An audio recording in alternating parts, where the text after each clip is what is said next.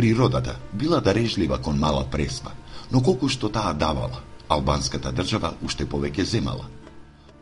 Овде царува сиромаштија и е несватливо зошто некој во современа Европа допуштил тркалото на животот за овие луѓе да запре некаде во 19. век, само затоа што тие се македонци.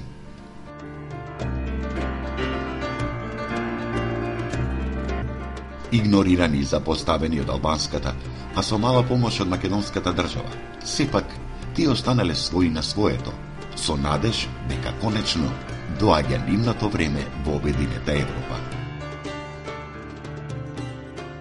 Истина голема благодарност од се срце искрено ние денес баш не најдовте на една активност на Македонската партија во Албанија бидејќи имаме ние регистрирано наша партија овде во Албанија, Македонска алијанса за европски интеграција.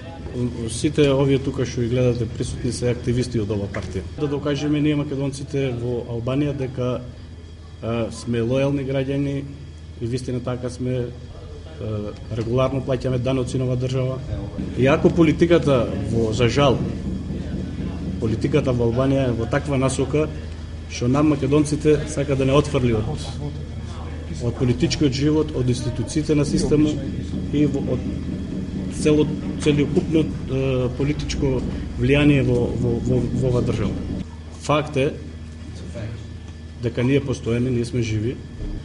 Иако Албанија не е таа што беше пред 6-7 години, ако видите низ Албанија сака да се инвестира, се асфалтират патишта, тоа ние го се радуваме со тоа, немаме никаква љубомора, или за жал кај има македонско население, ништо не се инвестира и отфрлени сме од економијата во Албанија.